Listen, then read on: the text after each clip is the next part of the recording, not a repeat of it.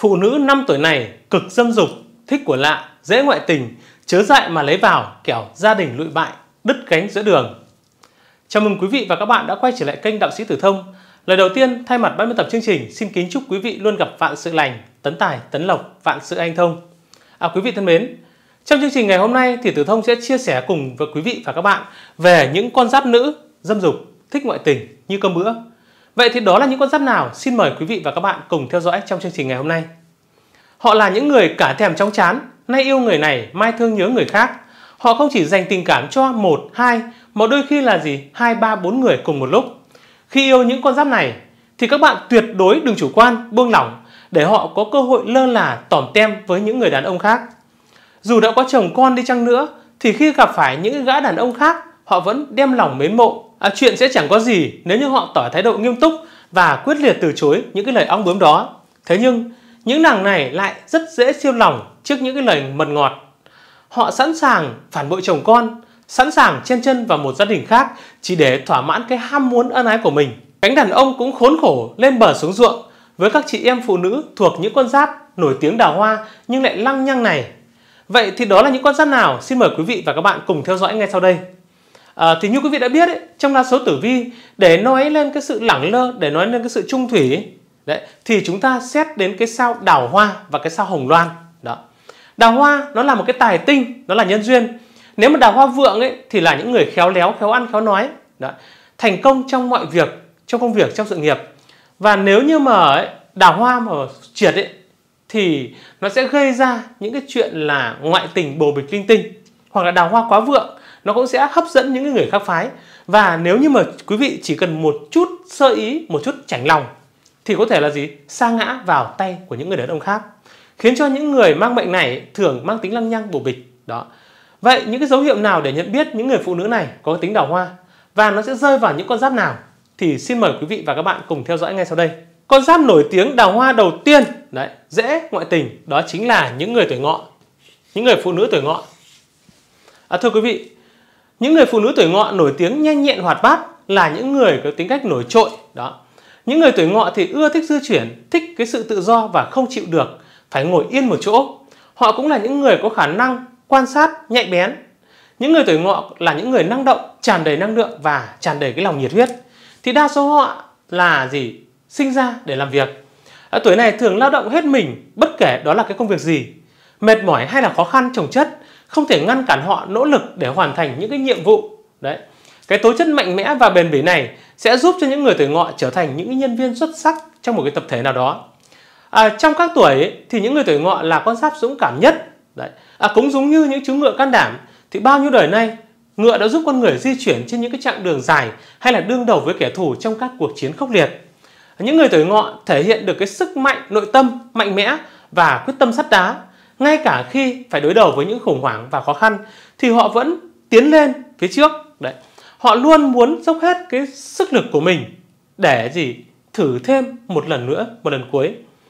Đó cũng là một cái biểu hiện của sự tự tin to lớn trong những người tuổi ngọ.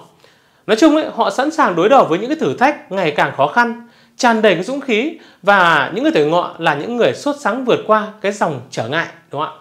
Không chỉ mạnh mẽ những người tuổi ngọ còn là những người mà đáng tin cậy chân thật và trung thành. Nếu như mà đã hứa hẹn điều gì đó thì họ sẽ cố gắng hết mình để thực hiện.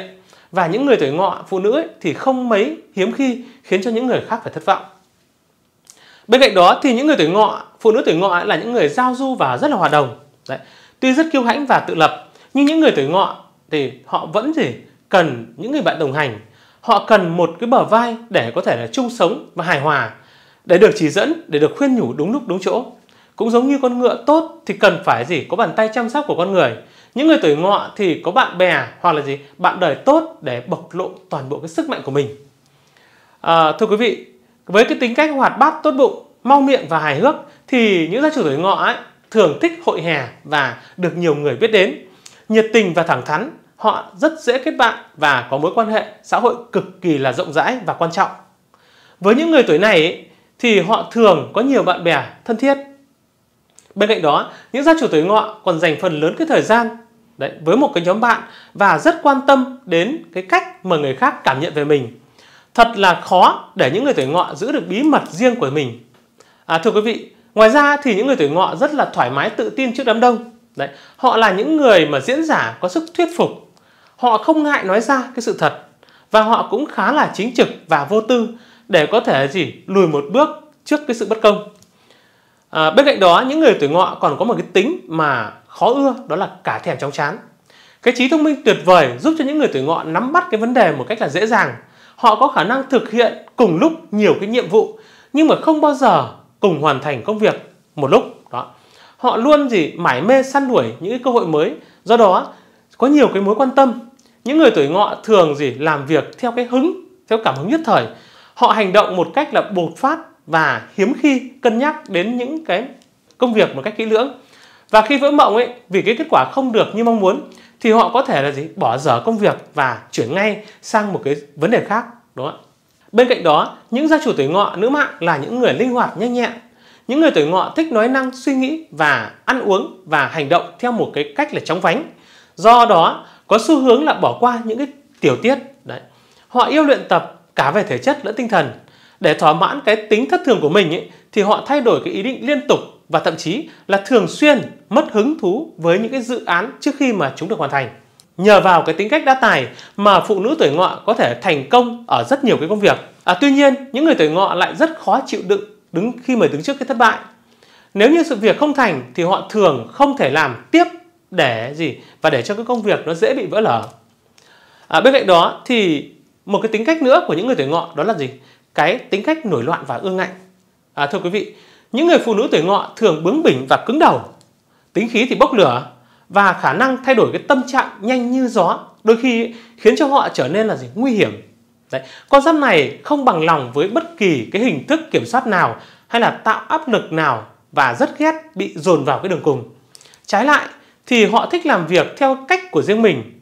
Những người tuổi ngọ có thể gì hơi quá tập trung vào cái bản thân khi mà còn đôi khi còn quá nông nổi. Đấy, đôi khi là gì? Họ sẽ nổi cái cơn tam bành.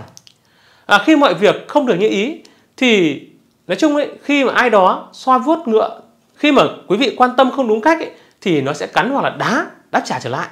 Một cách là không chần chừ. Đó. Cũng giống như vậy thì những gia chủ nữ mệnh tuổi ngọ ấy thì thường phản ứng quyết liệt rồi sau đó lại nối tiếc vì cái sự nóng nảy cũng như là những lời nói nặng nề của mình.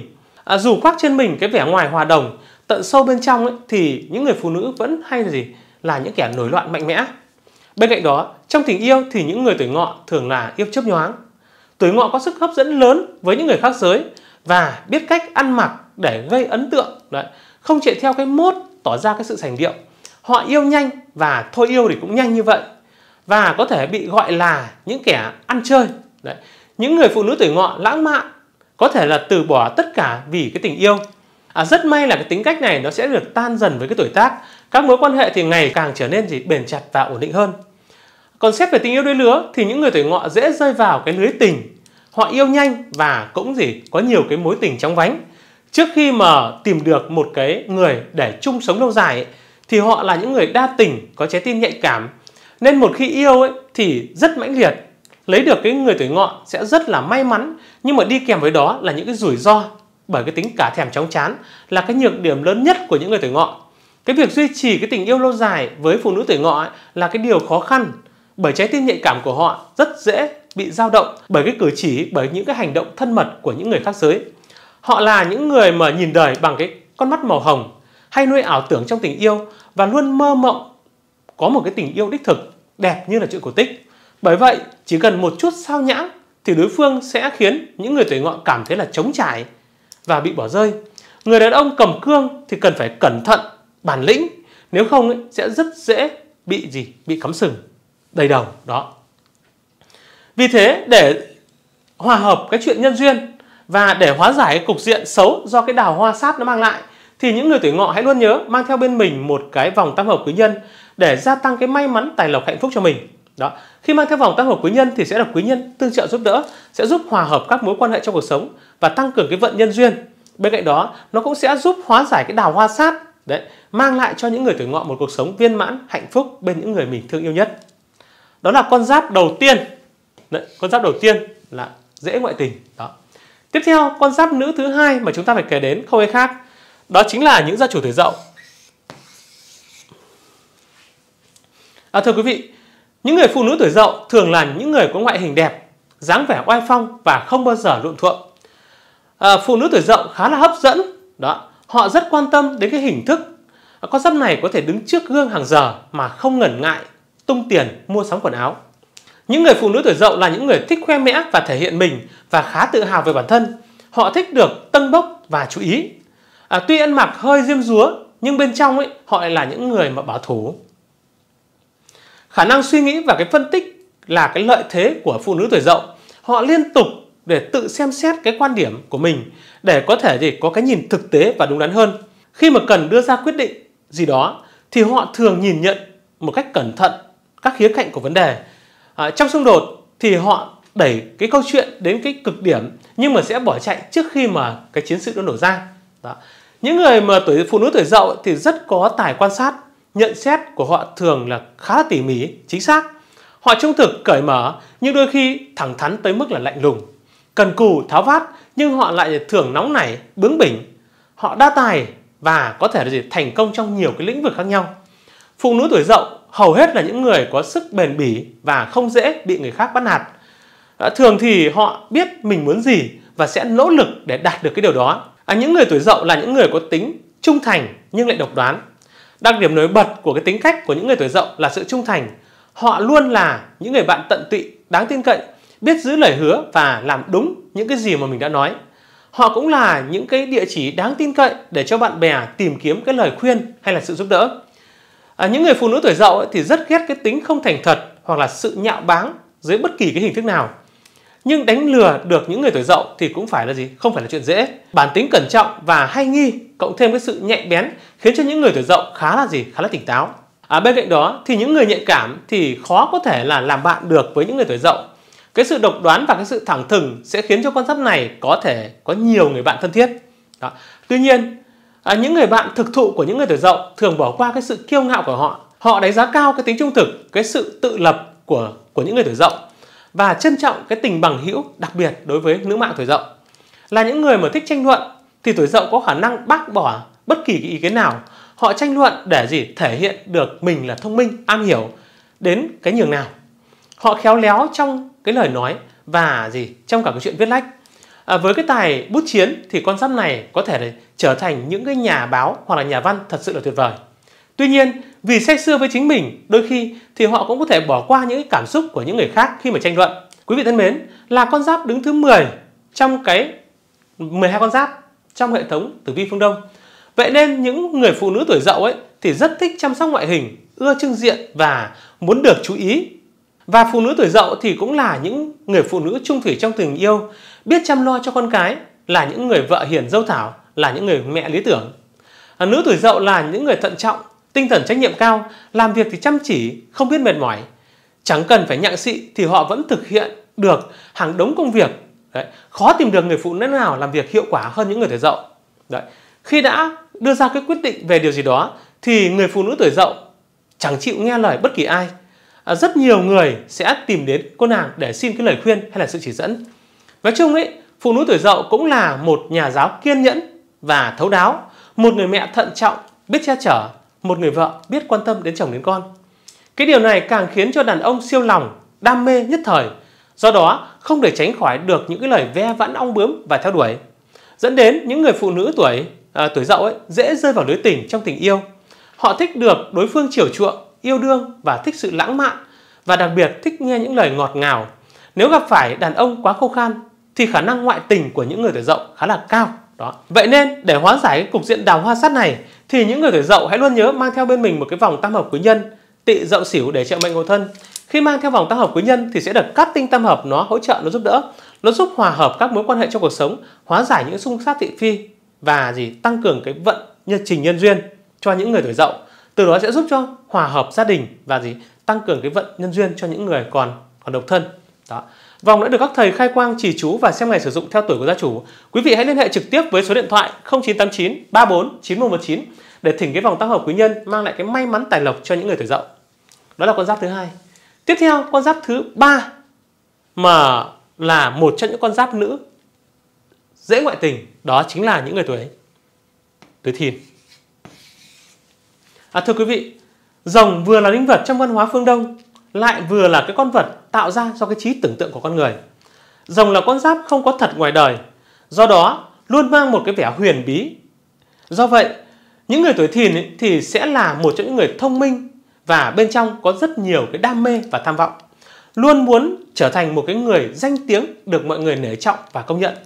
Chính vì vậy, những người phụ nữ tuổi thìn ấy là những người gì luôn mang trong mình một cái sức mạnh to lớn, toát ra về bên ngoài cái niềm tin tưởng, nhưng mà cũng thể hiện được cái bản chất là những người hiền lành và có tấm lòng yêu thương, uh, yêu thương những người xung quanh mình. Nói chung ấy, những người tuổi thìn ấy thì trong một số quốc gia thì có thể gì xem đây là một cái loài vật có thể bay lượn được trên bầu trời, mang lại cái nguồn của cải, phát tài phát lộc, may mắn cho con người. Đặc biệt những người có ý chí mạnh mẽ thì chắc chắn sẽ đi qua được những khó khăn, những thử thách để rồi nhận lấy những cái thành quả viên mãn. À, cũng tương tự như vậy thì những người tuổi thìn họ không bao giờ đặt mình ở những cái nơi nhỏ bé, lúc nào cũng muốn vươn lên những nơi to lớn hơn để gì có đủ cái không gian vùng vẫy và thể hiện được chính cái bản thân của mình một cách tốt nhất. À, thưa quý vị, nếu như các bạn là những người tuổi thìn ấy, thì cũng không cần phải quá lo lắng về cái khoản giao tiếp. Bản thân phụ nữ tuổi thìn thì luôn thể hiện là một cái con người thoải mái và gì và thân thiện. Mặc dù có đôi lúc thể hiện là con người nghiêm túc, lễ phép với người bề trên, à, có khi lại gì thân thiết như đã quen nhau từ lâu lắm rồi. À, phụ nữ tuổi thìn luôn thể hiện được cái bản thân là một người có lý trí, không bao giờ để cái tình cảm riêng tư nó xen lẫn vào cái công việc của mình. À, dù có nóng tính một chút đấy có thể khiến cho những người khác phải buồn lòng phải đau thương nhưng lại là người dễ dàng tha thứ và không bao giờ ghim hận ở trong lòng. Do vậy phụ nữ tuổi thìn thì luôn có cái đời sống hạnh phúc lạc quan thoải mái và luôn yêu cái cuộc sống này à, phụ nữ tuổi thìn là những người phụ nữ thì họ sẽ luôn muốn có cuộc sống có sự công bằng đấy biểu hiện cho cái sự năng động hòa đồng đơn giản đó À, còn với đàn ông tuổi thìn thì chứa đựng nhiều cái hoài bão, những cái mơ ước và nói chung ấy, thì họ sẽ cố gắng biến cái điều mong muốn của mình thành hiện thực và sẵn sàng giúp đỡ những người khác khi cần. Bên cạnh đó, với cái tính cách của những người phụ nữ tuổi thìn ấy, là tự lập, đó, họ thích cuộc sống độc lập tự do, hướng ngoại và luôn có niềm tin vào bản thân. À, và vì vậy những người tuổi thìn thì không thích lập gia đình khi còn quá trẻ, phải gặp nhiều cái khó khăn thử thách. Khi mà có được cái đời sống ổn định thì mới nghĩ đến cái chuyện là an bề gia thất. À, với một con người có cái sự kiêu hãnh muốn được thì tôn trọng nên là những người phụ nữ tuổi thìn ấy, hay gì hay hành động hay lời nói ấy, thì đều chứa đựng những cái sức mạnh đôi lúc ấy, thì cũng gặp phải cái sự thất bại trong cuộc sống à, thế nhưng những người tuổi thìn lại nhanh chóng đứng lên rút ra kinh nghiệm và gì những cái bài học cho chính mình về phương diện tình cảm ấy thì ưu điểm hoàn hảo của phụ nữ tuổi thìn thì cũng là nhược điểm chí mạng của họ tuổi thìn sinh ra vốn đã có tố chất hơn người họ yêu ghét rõ ràng nghiêm túc, lại cực kỳ là bao dung và rộng lượng với bạn đời. Nhưng tuổi thìn vốn là những con giáp thích khám phá. Cái sự cá tính của họ ấy đã làm bản mệnh, bản thân luôn muốn đi chinh phục cái đối phương. À, chính vì thế họ thử những cái mối tình ngoài luồng là cái chuyện không ai có thể đề phòng được. Vì thế để bảo vệ cái hạnh phúc gia đình và hóa giải những cái đào hoa sát đó do thân tí thìn là gì đào hoa tại rộng là đào hoa bị triệt đó vì vậy những người tuổi thìn hãy luôn nhớ mang theo bên mình một cái vòng tam hợp quý nhân thân tí thìn để được trợ mệnh hộ thân. Vòng đã được các thầy khai quang trì chú và xem ngày sử dụng theo tuổi của gia chủ. Quý vị hãy liên hệ trực tiếp với số điện thoại 0989 34 9119 để thỉnh cái vòng tác hợp quý nhân mang lại cái may mắn tài lộc trọn đời cho những người tuổi tuổi thìn và hóa giải cái cục diện đào hoa sát giúp cho những người tuổi thìn có được cuộc sống viên mãn hạnh phúc và đong đầy hơn. Đó là con giáp thứ ba dễ ngoại tình. Tiếp theo, con giáp thứ tư mà chúng ta không thể không kể đến đó chính là những gia chủ thể hợi. Đó hợi mão mùi thì đào hoa tại tý đây là những người lụy tình đó những người tuổi hợi làm mẫu cho cái sự chân thành thuần khiết khoan dung và đức hạnh lần đầu gặp họ thì các bạn sẽ có những cái suy nghĩ. Đấy, người này sao mà quá tốt? Họ cẩn thận, chu đáo, sốt sắng và rất là hào hiệp. Vậy nên, chúng ta có thể hoàn toàn đặt cái niềm tin ở họ. Họ không bao giờ làm các bạn phải thất vọng.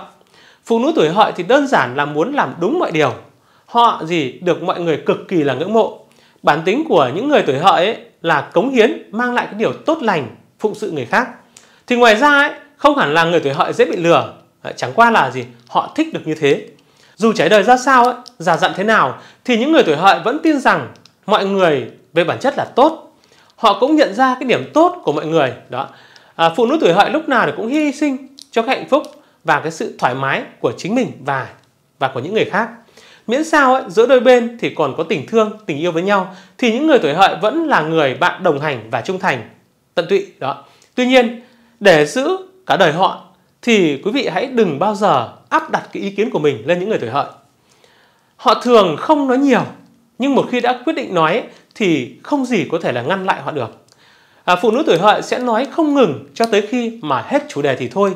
Và những người phụ nữ tuổi hợi là những người thông minh và khao khát cái tri thức. Đó. À, có người cho rằng phụ nữ tuổi hợi thật hợp hĩnh. Tuy nhiên không phải vậy. Họ là những người yêu cái đẹp mà thôi. Cách cư xử, phép lịch sự và cái thị hiếu, tinh tế đóng một vai trò cực kỳ quan trọng đối với những người phụ nữ tuổi hợi. Nhìn chung ấy, thì phụ nữ tuổi hợi bẩm sinh đã có cái khiếu thẩm mỹ tuyệt vời. À, không chỉ thế, phụ nữ tuổi hợi cũng rất yêu và thậm chí tôn trọng đồ ăn thức uống. Họ thường ăn uống quá đà nhưng lại nhất thiết phải là đồ ngon. À, trong các mối quan hệ thì những người tuổi hợi nhạy cảm, ngọt ngào, ngây thơ và chu đáo.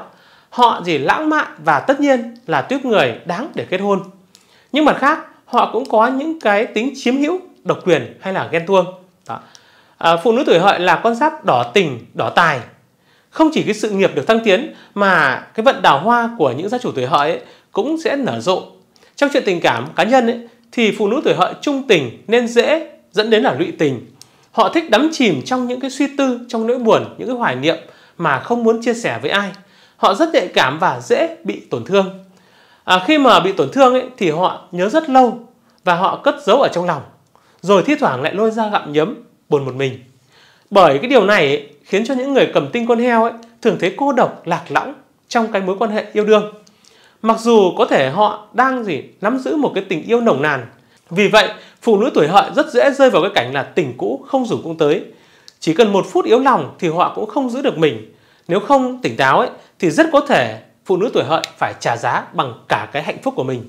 Đó là con giáp thứ tư đúng không ạ? Và để hóa giải cái cục diện đào hoa sát do những người tuổi hợi đúng không ạ? Hợi mão mùi đào hoa tại tí là tí thủy là đào hoa sát đúng không ạ? Lụy tình. Vậy nên là gì? Những người tuổi hợi hãy luôn nhớ mang theo bên mình một cái vòng tăng hợp quý nhân hợi mão mùi để trợ vận hậu thân. Vòng đã được các thầy khai quang trì chú và xem ngày sử dụng theo tuổi của gia chủ. Khi mang theo bên mình thì nó sẽ hóa giải những thị phi xung sát, hóa giải cái cục diện đào hoa sát, mang lại cái may mắn, mang lại cái tình cảm yêu thương mặn nồng cho những người tuổi hợi. Vòng vẫn được các thầy khai quang chỉ chú và xem ngày sử dụng theo tuổi của gia chủ. Quý vị cứ liên hệ trực tiếp với số điện thoại 0989 34 9119 để thỉnh cái vòng tam hợp quý nhân, mang lại may mắn tài lộc và gì giúp giữ gìn hạnh phúc cho những người tuổi hợi. Đó là con giáp dễ ngoại tình thứ tư. À, thưa quý vị, như vậy là Tử Thông đã vừa chia sẻ cùng quý vị và các bạn về những con giáp dễ ngoại tình, đó, có tính lăng nhăng. Đó. Đó là những tuổi sau. Một là tuổi ngọ, hai là phụ nữ tuổi dậu, ba là phụ nữ tuổi thìn và bốn là phụ nữ tuổi hợi. Đó. À, cảm ơn quý vị và các bạn đã quan tâm theo dõi. À, quý vị đừng quên đăng ký kênh và nhấn vào chuông thông báo để ủng hộ cho chương trình. Còn bây giờ xin chào và hẹn gặp lại quý vị trong những video tiếp theo. À, xin cảm ơn.